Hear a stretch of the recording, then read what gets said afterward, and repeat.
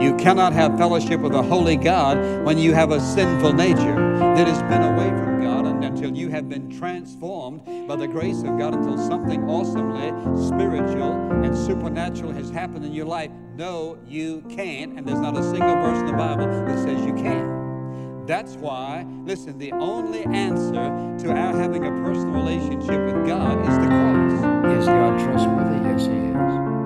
put my confidence in Him? Yes. In how many things? In every single thing. You're trying to find the will of God about your job or about the person you're going to marry or whatever it might be.